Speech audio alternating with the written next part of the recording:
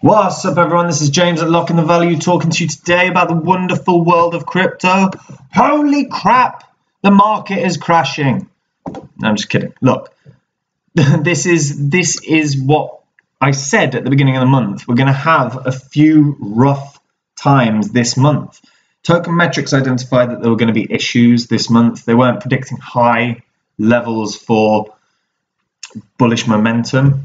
Um, and there's a couple of factors that that seep into this. Now, I've lost uh, reasonable money on a few of my positions. I'm very lucky that one of my positions has gained dramatically.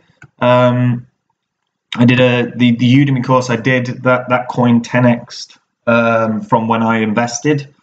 So um, I'm very lucky on that regard, and well done to those that got in on it. Um, but I've got positions, and I've talked to. I, I'm always open about the positions that I hold. So I'm bullish on Icon, and I hold a position in Icon, and Icon's dropped 25% on the dot this in the last seven days. So I've lost a quarter of the value of that holding. Now I'm okay with that because this month in particular seems to be indicating sideways movements with some significant dips. So I'm going to go through what I'm doing um, based on the information that I've got uh, about how to invest. I, I, I, effectively have a pot of money every month that I can invest. Um, so today I so I've allocated 20% for effectively dip days where I'm going to invest. So as an example, I've got 20% of the funds that I've that I have to invest this month. Um, set in for buy points on a few different currencies. So um, I spoke at the beginning of the month about Elrond. Elrond, I'm bullish on, massively bullish on. I think the new token metrics is br- like token economics of the crypto is brilliant. So Elrond eGold or eGold, as it's now known. Um, excuse me. And I've set buy points for Elrond at around $17. I'm hoping I catch a dip and I can get it because I'd be very happy at that price. But I think, and I've done that for a few different currencies.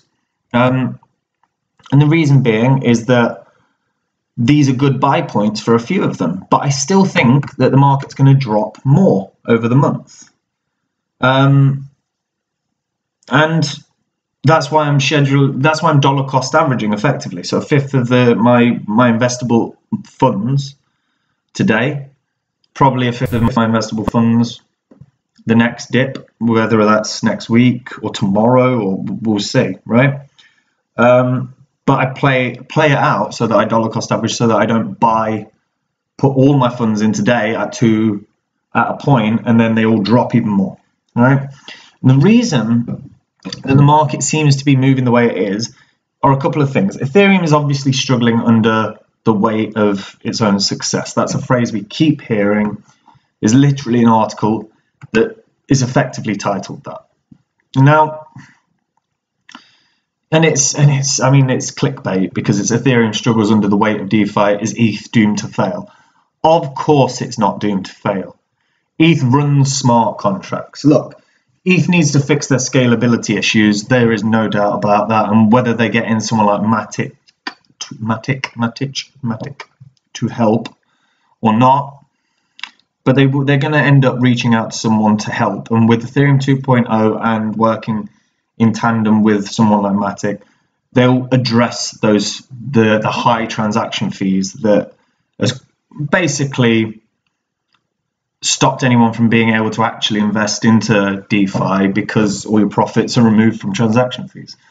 Um, and that will be addressed. I don't think it'll be fixed, but it'll be addressed and it will reduce. Um, and other than that, we've got Bitcoin, and Bitcoin has dropped, right?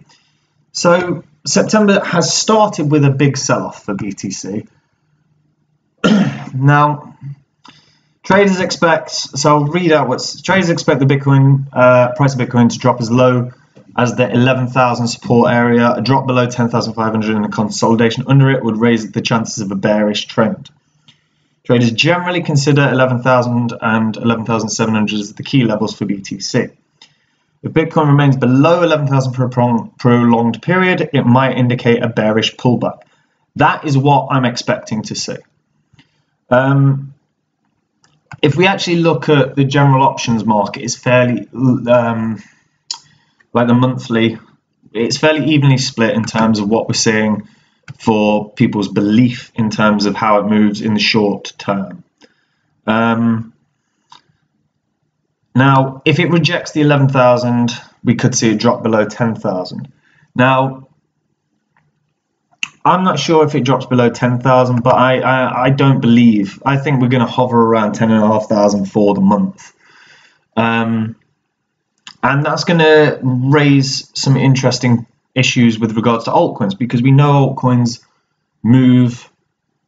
They're like Bitcoin dominates the market. So if Bitcoin pumps, altcoins might lose some value before they gain loads, right? Because people sell off their positions in altcoins to buy in Bitcoin, and then they sell off their positions in Bitcoin to get back the altcoins, you know. So how altcoins move this month is going to be really interesting, but there is not a, anyone that's looking at this shouldn't be panicked or stressed or worried unless you've gone all in on a project, in which case, you know, really, really don't do that ever. Um, but there's going to be lots of buy points this month, lots and lots and lots. So figure out how much you actually have to invest and then make a plan of action for how you're going to proceed. Okay? Because you are going to have four or five days like this over the course of this month where there's good buy points. Um, but you know, remember remember your strategies. Again, I go I I went in on a lot of staking coins at the initially.